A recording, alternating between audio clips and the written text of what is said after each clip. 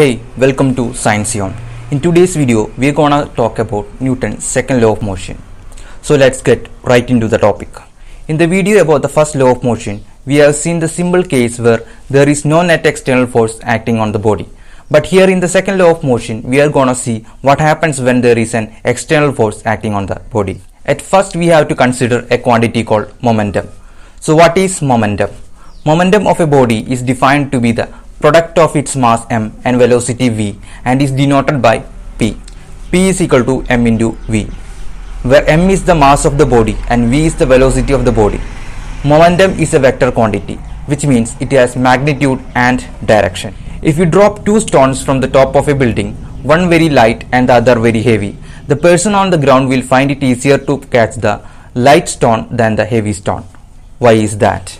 If we take two light stones of the same mass and then throw one stone slowly and the other fastly, then we can find that the faster stone is difficult to catch.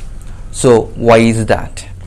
So in these two cases, we can see that it is difficult to catch a stone when it is thrown faster and also when it is heavier. This is due to the momentum of the stone increasing. The momentum of a stone increases when either the mass or velocity of the stone increases. That is, as we have seen in the equation, the momentum of a body depends on the mass and velocity of the body. If you are familiar with the game of cricket, you can see that when a professional cricketer tries to catch a ball, he draws in his hands backward in the act of catching the ball. So why does he do that?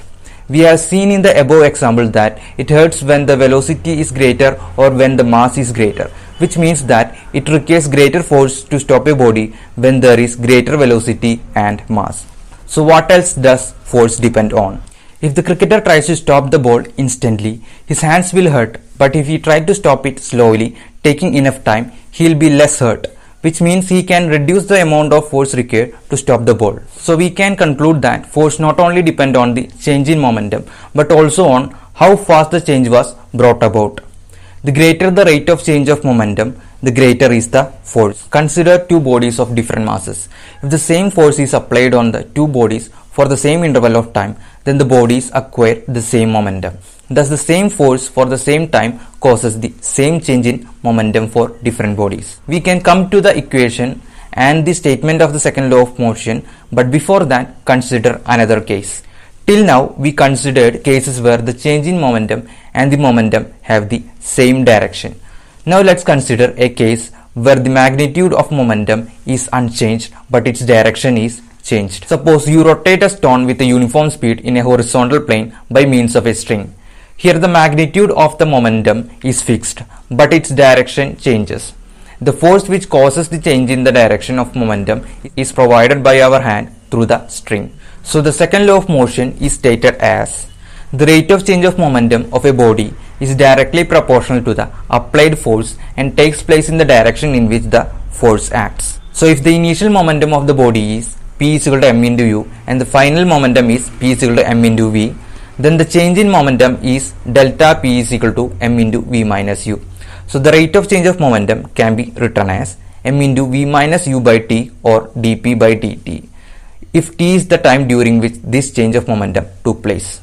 So the second law of motion is given by f is proportional to dp by dt. We can write f is equal to k into ma where k is a constant of proportionality. Since the unit of force has not been defined so far, we have the freedom to choose any constant value for k. For simplicity, we take k is equal to 1. So we have F is equal to dp by dt is equal to ma. The SI unit of force is Newton. So let us note some important points about the second law. In the second law, F is equal to 0 implies A is equal to 0. Therefore, second law is obviously consistent with the first law. The second law of motion is a vector law. This means that if a force is not parallel to the velocity of the body but make some angle with it, it changes only the component of velocity along the direction of force. The component of velocity normal to the force remains unchanged. The force F in the law stands for the net external force acting on a particle and A stands for acceleration of that particle. But the law in the same form applies also to a rigid body or even more generally to a system of particles. In that case, F refers to the total external force on the system and A refers to the acceleration of the system as a whole. The second law of motion is a local relation which means that Force effect at a point in a space a certain instant of time is related to a at that point at that instant. So that's all about Newton's second law of motion. If you find this video informative, please click the like button, comment, share and subscribe. See you in another video. Thanks for watching.